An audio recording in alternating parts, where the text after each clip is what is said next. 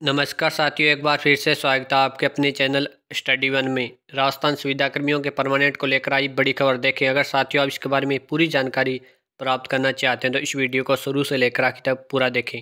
तो देखते हैं पूरी जानकारी। जैसा कि आप देख सकते हैं, जो खबर आई है, नियमित के नाम पर सुविधा कर्मियों के साथ कर रहे हैं छलावा उम्र और संतान संबंधी पेज से दस हज़ार से ज़्यादा को अयोग्य करने की तैयारी। जयपुर चिकित्सा एवं स्वास्थ्य विभाग में नेशनल हेल्थ मिशन में सालों से काम कर रहे सुविधा कर्मियों को नियमित करने के नाम पर छलावा कर रहे हैं। सरकार की ओर सुविधा कर्मियों को Rajasthan contractual hiring to civil post rule 2022 के दायरे में लिया जा रहा है।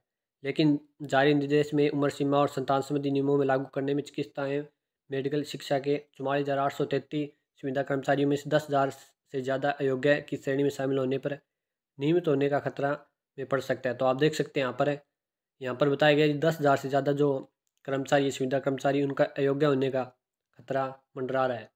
इधर पिछले माह संयुक्त सुविधा मोर्चा राजस्थान के संयोजक शमशेर खान बालू के नेतृत्व में प्रतिनिधिमंडल आरटीडीसी के अध्यक्ष धर्मेंद्र राठौड़ ने आयु संबंधी शीतलता का आदेश जारी करने का आश्वासन दिया था, लेकिन दस दिन के बाद आश्वासन के सिवा कुछ नहीं मिला।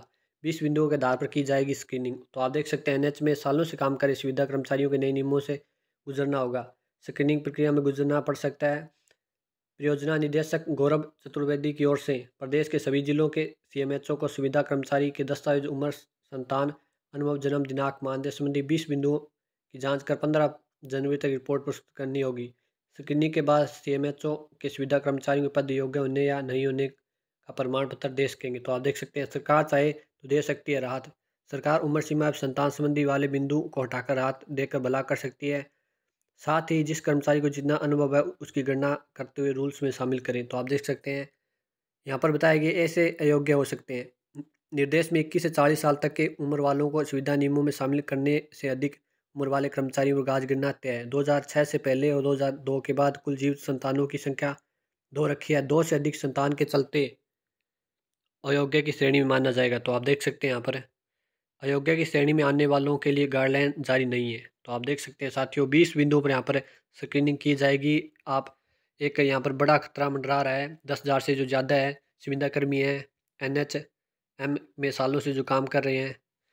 तो ये अपडेट थी जो आप सामने शेयर करनी थी। मिलते हैं नेक्स्ट वीडियो में।